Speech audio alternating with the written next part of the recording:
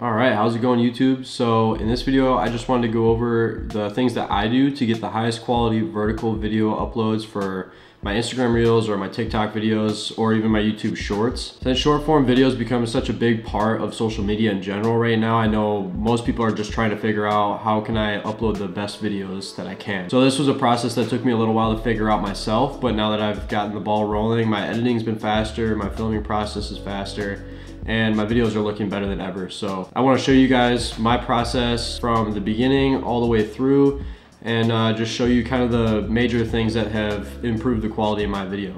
So the first thing is that I shoot with an iPhone or the camera that I'm using right now, or a GoPro. So those are my three means of making video. And no matter which way that you're gonna be recording your video, make sure that it's gonna be in your vertical format. So if you're using a phone, you're gonna wanna shoot like this rather than like this.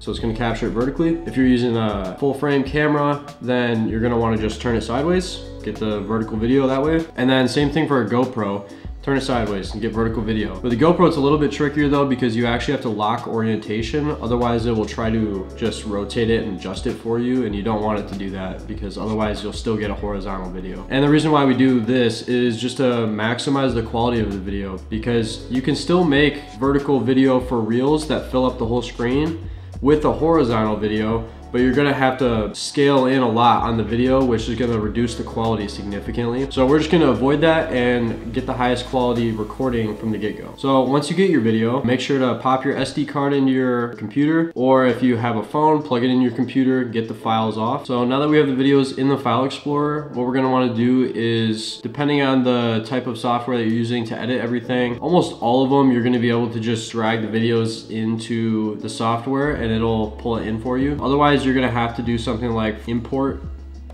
So you'll be able to import videos into your software of choice. I'm using Adobe Premiere and you can see down here in the left corner, these are all the video clips I have in this project here. So I already have a project laid out for us um, that I've been using and I'm gonna make a reel out of it. Just to speed up the process a little bit, you can go ahead and drag your videos into here and then once you get some clips selected, you can drag them in just like so. So once you got them in your video, in your timeline. You're ready to start editing in vertical. Premiere Pro might open your sequence. So the video that we're looking at um, over here on the right, this is called the sequence. It might be looking kind of weird because if we shot in vertical, it's not gonna match up to the sequence that we loaded into probably. So what we can do is go to sequence settings and we can actually change that. So in this case, I shot at 30 FPS. So we're gonna keep the time base the same and you can change the frame size. So I shoot vertical 4K. A typical aspect ratio would be 16 by 9. That's for horizontal. For vertical, it's gonna be the, the opposite actually. It's 9 by 16. So what we all we gotta do is in the frame size here is just switch these two numbers.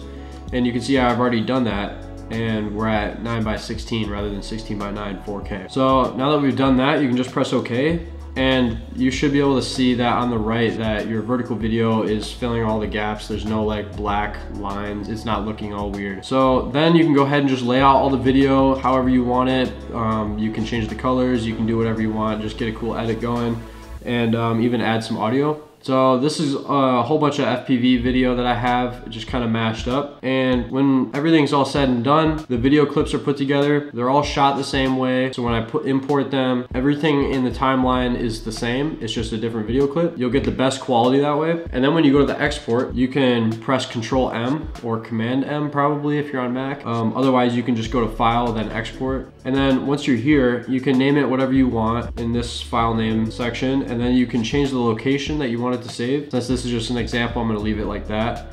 And then there's usually a preset video export. Now, none of these are probably gonna work for you, so what I recommend is um, either creating a preset or just following these kinds of general settings. So if you go under the little video tab here, we're gonna actually change the frame size. So since we changed the sequence, we can click match source and it will actually adjust it to be the same as uh, the whole sequence. It's gonna be this vertical video now and make sure it's in 4K and make sure that the frame rate match. It's important just to get the best quality. And we can actually go to more and just get the best quality out of this.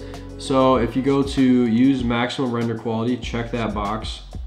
keep going down. Make sure that your color space is the same as we did as it is in the sequence. In our case, it is. If you scroll down even farther, you can see uh, the bitrate encoding. So VBR 2 pass is gonna give you a much better export quality.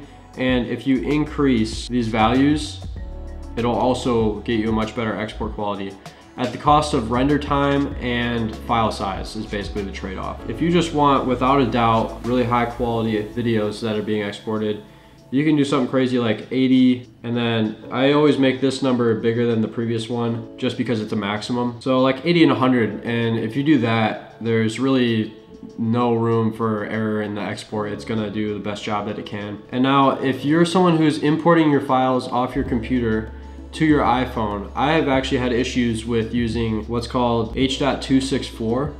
So if you export into H.264 in 4K vertical format, it actually won't let you put it into the Photos app before you upload to like Instagram or TikTok.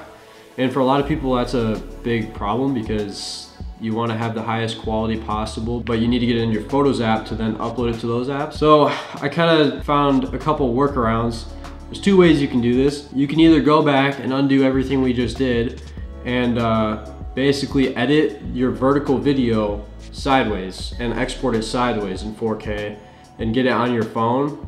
And then you can flip it in the Photos app back to vertical. That's one way. Another way is to switch your codec, your format, to H.265 also known as HEVC. And then follow similar export settings as what we just used. So again, I have a preset already, but you're probably gonna have to make uh, your own. So again, just make sure that your frame size is in your vertical sequence format. Your frame rate's the same. You can scroll down, use maximum render quality, scroll down some more, this case, we can only use VBR one pass, but that's okay because I'm just gonna max it out.